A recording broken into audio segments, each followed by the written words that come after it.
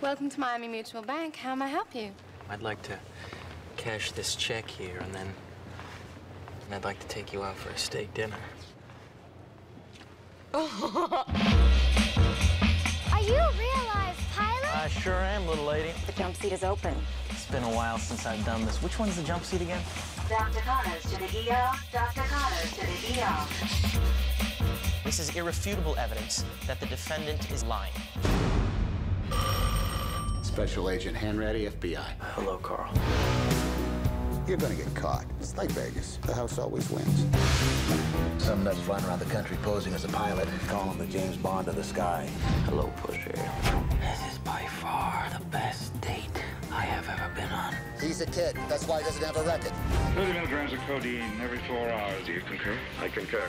Dr. Harris, Yes? do you concur? Concur with what, sir?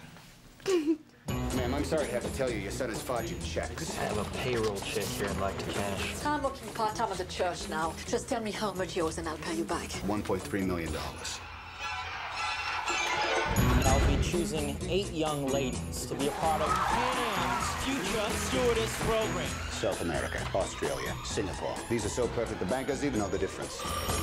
What do you want? To apologize. You didn't call to apologize, did you? You have no one else to call. I'm looking for your son.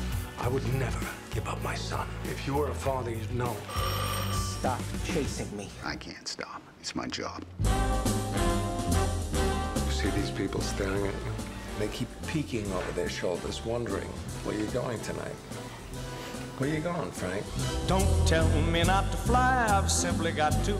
If someone takes a spill, it's me and not you.